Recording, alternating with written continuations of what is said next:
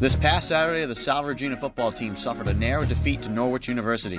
Despite a slow start and falling behind 8 0, the Seahawks rallied to be in position to win the game thanks to some big plays and tenacious defense.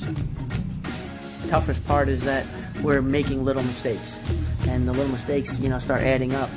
Uh, but the team showed resiliency and started battling back. The Seahawks defense only allowed 18 yards on the ground and had a school record 17 tackles for a loss. There was one series where they went backwards on every play. So they ended up punting from like fourth and 16 or 17. They went a yard or two back on every play, which was awesome. Joey Moriello picked up right where he left off last season, rushing for 140 yards and a touchdown.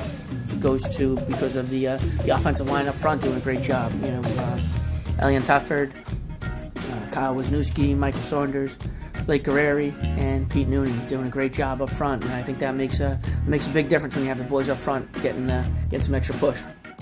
Matt Sylvia's pick six in the fourth quarter gave the Seahawks the lead, but the Cadets scored again with under two minutes to play to go back in front.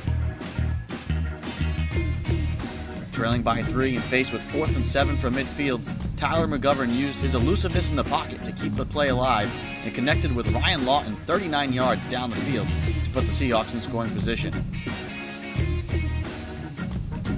After three failed passes to the end zone, the Seahawks set up for a game tying field goal. However, the Cadets defense had one last play in them, blocking the kick and hanging on for the road victory. Next up, the Seahawks host Montclair State in another non conference matchup at Toppa Field.